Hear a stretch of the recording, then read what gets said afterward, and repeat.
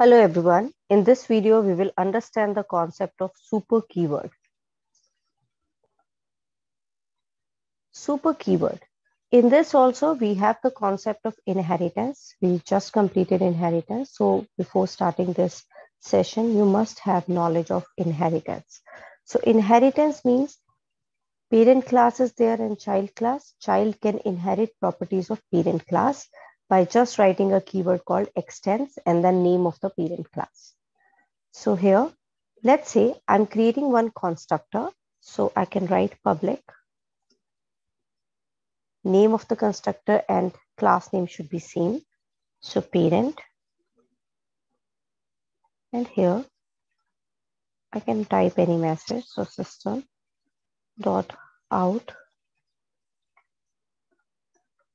dot println I will type parent constructor. So I created one constructor, which is by default constructor, parent constructor. And here I'll go to the child class and I'm going to create object of child. Guys, you must know the concept of constructors also. So constructor will be called whenever we create object of the class. So here I'll write new child and refer it with variable. So here, child obj assign this. When we execute it, my constructor will be called. Now let's see which constructor gonna get called. Look at this, parent constructor. How JVM will work in this case? So when JVM will read one object is created, it will go to the class and then it will read, okay, this class is extending parent. It will go to the parent class, read its by default constructor and display it to you. So the first thing that will be called is when you are creating an object, default constructor. Now, if that class is independent class, it will call default constructor of this class.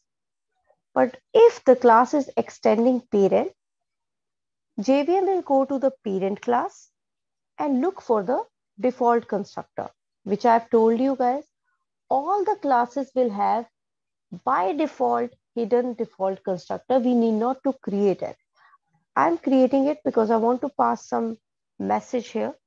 But if I'll comment it also, still it will come to the parent class. So look at this. When I execute it,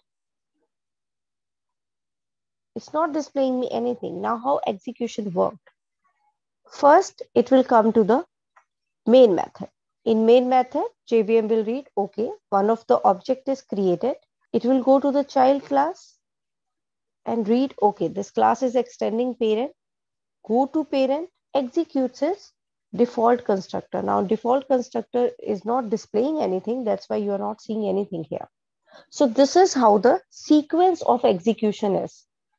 Now let's say I create constructor in this class also. So I will write public child system dot out dot println and here I will write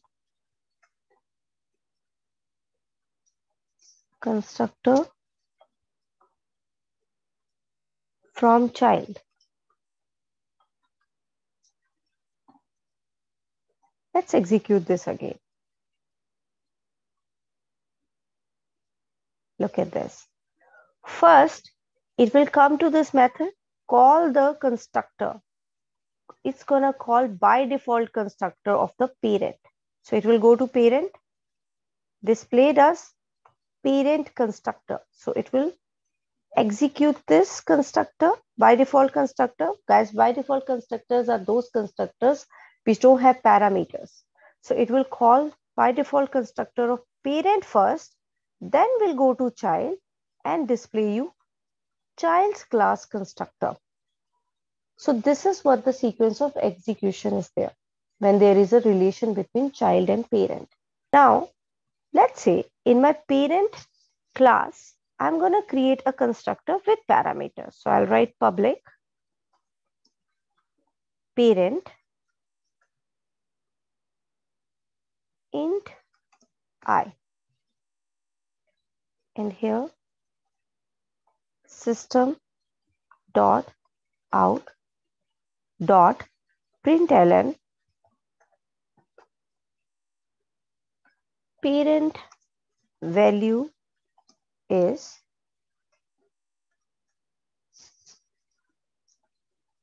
so here I'm just going to put it in strings and value i. So I'm concatenating i with the string so guys, if you want to concatenate any variable with some line which you want to pass from your side, you can use plus as a concatenation operator. Okay, so now I'll go to this child class. So now I want to call parameterized constructor of parent. Because I know when I'm calling any object, I'm creating any object, it's going to go to the parent class and call for the default constructor but I want to call parent class parameterized constructor explicitly. So if we want to do so, we can use a keyword called super. Whenever, the moment you will write a super keyword, it will refer to the parent class constructor. So here, if I want to pass any value, like in my constructor, it's parameterized, I can pass any integer value here. So I will write, let's say 100 and let's execute it and see how it works. Look at this. Parent value is 100, which is coming from my parent class. Look at this. So parent value is 100. I'm going to give space after this so that it get appended here. So parent value is, I passed 100 in my child class in super keyword. So super keyword is to refer parent class constructor and you can pass value in super keyword for this parameter. It will first go to the parent constructor and then it will read that you have written super. Super means you want to call constructor of the parent class. And then first this will be executed and the next line in the constructor will be executed Let's say if you have created constructor with two parameters, let's say here integer. Okay. So here you can write same line, control C, control V, and here I want to say K. Parent second value is this. So in child class, see, this is giving me error now. Now this started giving me error because I need to pass two values according to my parameterized constructor. So here I'm passing 200. Look at this. Now I execute it. Parent value is 100. Parent second value is 200. And then the next line will be executed. So first, super keyword will go to my parameterized constructor, execute it, and then it will come to child constructors next set of lines. Whatever you have written after that will be executed.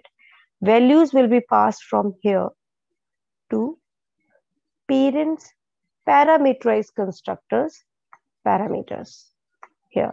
So i will be given 100 and k will be given 200 so this is how super keyword works so super keyword is to call parent class constructor in child class if it has parameters, you can pass value here.